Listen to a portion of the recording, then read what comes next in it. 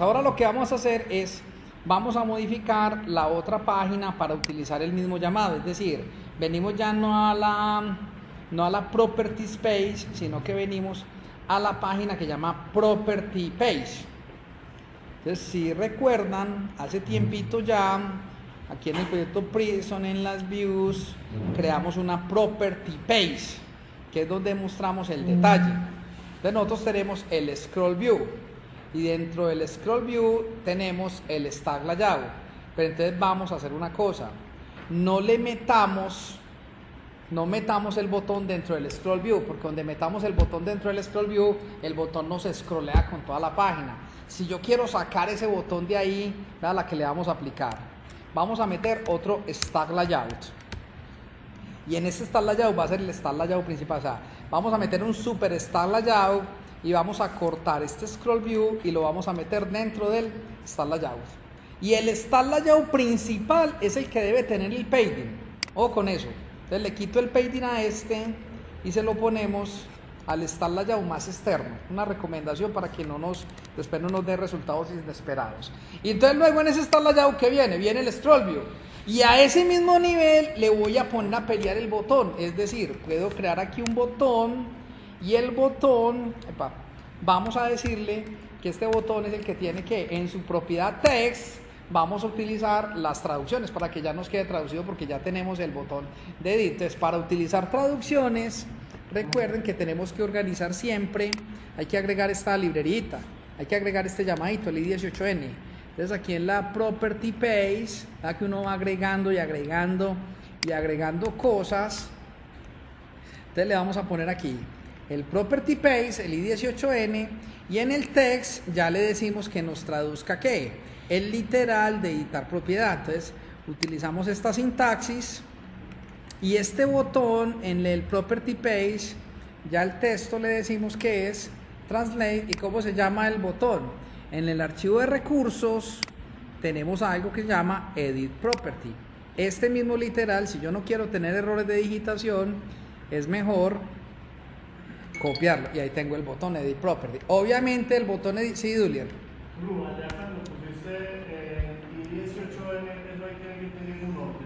No, eso no tiene orden. Eso ahí me gusta colocar todos los X en el S junticos, pero no tiene orden. Eso en cualquier lado, eso funciona. Y a esto le vamos a colocar un comando. Obviamente este comando viene, este comando va bindado y el comando le vamos a decir que me lo binde a una cosa llamada edit property command. Y cuando yo le diga edit property command, vea pues lo que va a pasar. Edit property command. Ahí vamos. ¿Qué estamos haciendo? Colocándole a esa pantalla un botón. La diferencia es que el botón lo saqué del scroll view para que no me no se vea afectado sobre ese scroll, que el botón siempre esté clavadito a la parte inferior y nos queda muy parchadito el botón ahí. Y este botón yo no le defino más propiedades porque es un botón primario. Entonces él va a heredar de lo que hay en el archivo de recursos. Ahora, ¿qué nos queda faltando? Este edit property command. Este edit property command ¿dónde debe estar? En esta página que es la property page view model. Entonces venimos aquí, aquí es muy fácil los nombres.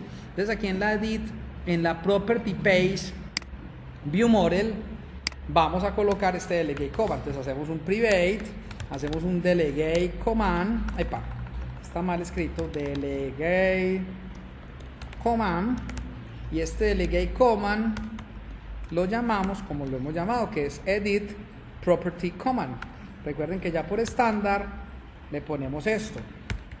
Y este edit property command que va a hacer va a llamarnos el delegado entonces creamos la propiedad pública que también es un delegate command que lo llamamos igualito y este delegate command es una propiedad de lectura entonces la marcamos así. Entonces qué le vamos a decir le decimos que si el edit property command es un nulo, entonces, ¿qué le decimos? Le decimos que al edit property command hágalo igual, epa, estoy torpísimo hoy con este teclado, hágalo igual a un new delegate command y aquí en el paréntesis le colocamos el nombre del comando y el nombre del comando va a ser edit property y como es un comando asíncrono le ponemos el assign control punto y vamos a decirle, epa, control punto, y vamos a decirle que nos genere el método. Y este método, por orden, debe ir aquí al final de la clase. Vamos a ponerlo aquí al final. Y aquí al final, cuando le digamos Edit Property, ¿a dónde lo vamos a poner a navegar? Lo ponemos a navegar a la misma página de Edit Property. Entonces le decimos await. Ah, bueno, pero para que este man sea await, aquí le tenemos que poner el assign. Entonces, en el servicio de navegación, en el, bueno, este man no tiene todavía activo el Navigation Service, hay que inyectarlo. Control punto, le decimos que nos cree el campo. Y este Navigation Service, pues le ponemos aquí el underline, control punto y hacemos el rename, esto nos queda mejor si lo pasamos para acá y ahí tenemos. Y aquí el dis nos falla, listo, ahora sí. Entonces ahora sí, le vamos a decir que este man nos navegue a dónde? Nos navegue en el Navigation Service, le decimos navigate y a dónde lo vamos a mandar? A la misma página que lo estamos mandando cuando creamos esto, que es la, lo vamos a mandar aquí, a la Edit Property Page. Yo prefiero copiar y pegar y así no tengo un error. Pero, pero, no lo vamos a poner a navegar solo. ¿Cómo lo ponemos a navegar? Le mandamos la propiedad que estamos tocando. Entonces, ¿cómo hacemos eso? Fácil. Entonces voy a crear un objeto que llame los parámetros. Y este objeto parámetros le digo que es igual a un new navigation parameters. Y esto es una llave de valor. Entonces le decimos que a los parámetros le decimos adicione y le vamos a colocar una llave. ¿Cómo llamamos la llave? Como yo la quiera llamar, property en este caso. ¿Y qué le vamos a mandar? La propiedad. Pero resulta que la propiedad es este mismo objeto que está aquí. Nosotros ya tenemos en este mismo objeto la propiedad la que estamos editando. Entonces le podemos mandar la misma propiedad que estamos mandando. Es una propiedad que llama property. Y listo. Ahora, esta sintaxis yo la puedo simplificar, nos queda más chévere si la hacemos así. Y lo otro es que cuando naveguemos vamos a decirle que le mande una propiedad. Y hay que tener en cuenta una cosita. Lo que hay que tener en cuenta es que Android nos puso problema para mostrar la propiedad. ¿Se acuerdan que nosotros la primero la mostramos con un IMAS y nos puso problema? Ah, bueno, claro que aquí la estamos, entonces hay que mostrarlo, es con un FFI más loading caché. Esto es por el tema de Android porque ponía problema. Entonces hagamos una cosa, copiémonos esta definición del FFI más lo dan caché y vamos a cambiarla en la de property page. En la de property page no vamos a utilizar la pinche image, porque eso no funciona en Android, y en iOS sí a funcionar, sino que le vamos a poner aquí una FFI más loading caché. Obviamente, cuando nosotros le ponemos FFI más loading caché, él saca un error porque el man no es capaz de pintar eso si antes no le agregamos. Entonces, mira, Dulier, no importa el orden, simplemente es que esté ahí. Aquí en la de Property Page, mira que en cualquier orden yo lo pongo. ¿Yo qué hago? Trato de que todos los XNLS me queden eh, como igualitos, pero igual no hay necesidad. Eso no tiene como un orden aparente. Ahí está. Entonces le vamos a decir que nos ponga esta imagen, pero esta imagen ya le vamos a decir aspect fit, eh, epa, a ver, with request, aquí nosotros le estamos poniendo es un hey request más pequeño de, de 150 y lo estamos bindando es a una cosa llamada image source y esto tiene un comando, entonces también vamos a abrirle el comando a esto, entonces simplemente yo puedo colocar esto, abro esto y le coloco los gestos recognizer. Recuerden que todas, todas las colecciones se le pueden abrir gesture reconocer. Entonces simplemente le digo punto y aquí le digo gesture recognizers y abrimos los gestos recognizer para ese campo. Y cuando me toquen la imagen, vamos a llamar este comando que es el que va a abrirnos la cámara del teléfono. Entonces aquí le estamos diciendo chain más command. Ve cómo lo cambio de fácil. Ahí cambiamos ya la imagen por un FFI más lo de en caché. Entonces, ¿Qué le estamos diciendo aquí cuando yo le diga edit, property?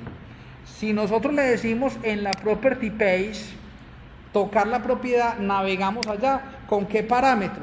Le mandamos el parámetro property. Cosa que cuando llegue la otra página, que es la edit property page view model, él pregunta, ¿llegó un property? Sí. Entonces me la va a bindar esa es la propiedad que me mandaron. Y vamos a decir que está en edición. Pero si no me mandaron propiedad, asumo que es una propiedad nueva. Y vamos a probar a ver si es verdad tanta dicha.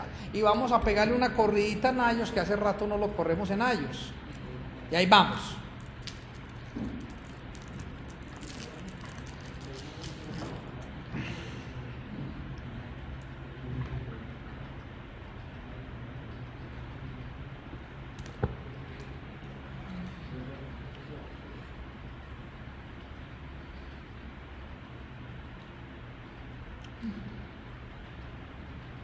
Pues aquí va.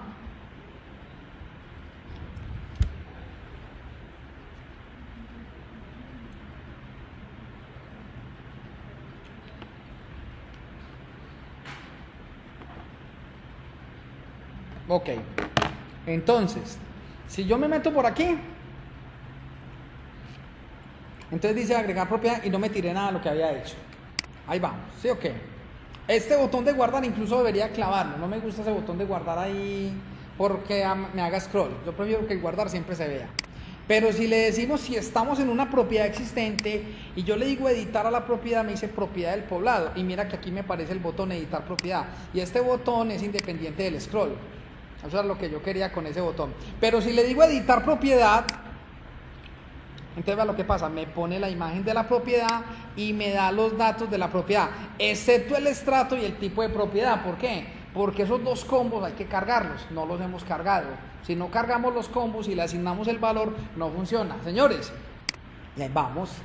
Estos dos botones de guardar y eliminar tampoco me gusta que estén ahí. A mí siempre me gustan los botones. Yo prefiero que sean siempre visibles al usuario. Pero señores, dejamos ahí por, por hoy. La próxima clase continuamos con eso. Si le ha gustado, dale dedito arriba. Muchísimas gracias. Nos vemos en la próxima.